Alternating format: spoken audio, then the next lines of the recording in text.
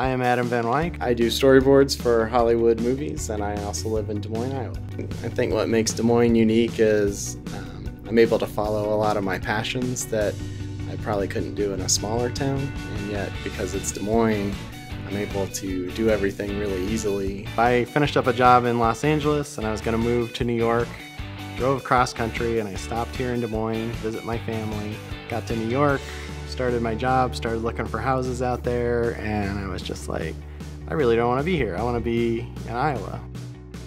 Mainframe Studios is where I hang my hat right now. It's a nonprofit space for artists of all kinds. It's the biggest collection of artists in the country. So it's really just a great community for all kinds of art. I get all the stuff I liked about LA, but it's also much easier here, more affordable here. It's, you know, when big plays come through town, I can go see them at the Civic Center, or lots of musicians come through. And you know, my family's kind of young. We're just getting into the school system, and it's been fantastic. My kids have loved every teacher they've had.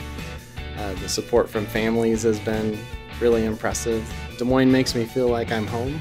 A lot of people feel like they belong, like they can do the things they want to do, you know, they can live the life they want to live. I think it's a very nurturing city.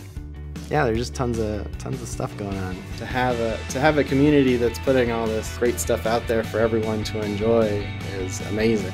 I love it.